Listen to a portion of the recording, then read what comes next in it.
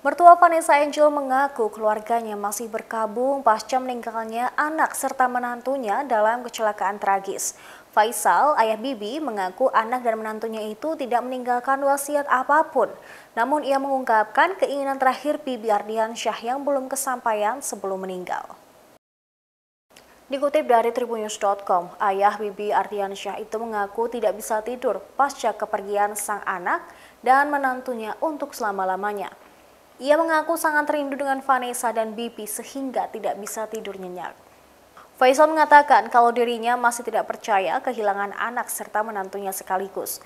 Apalagi setelah ketika para saudara dan saudarinya pulang, ia serta keluarga tidak sanggup melihat pemberitaan mengenai anak dan menantunya itu.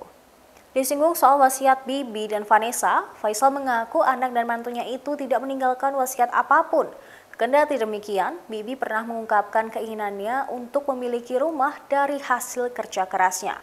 Namun, sayangnya keinginan tersebut tidak dapat terlaksana lantaran keduanya telah dipanggil Yang Maha Kuasa.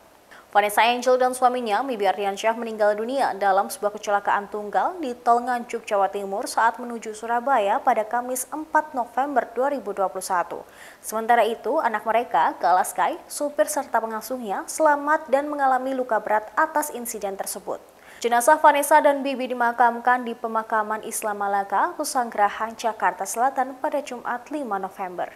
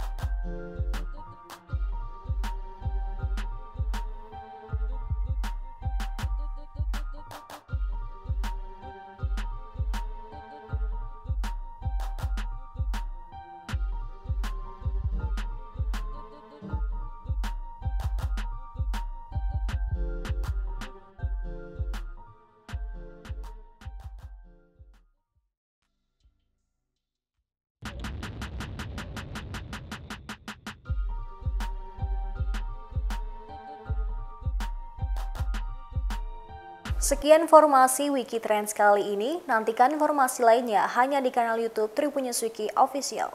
Terima kasih sudah nonton. Jangan lupa like, subscribe, dan share ya.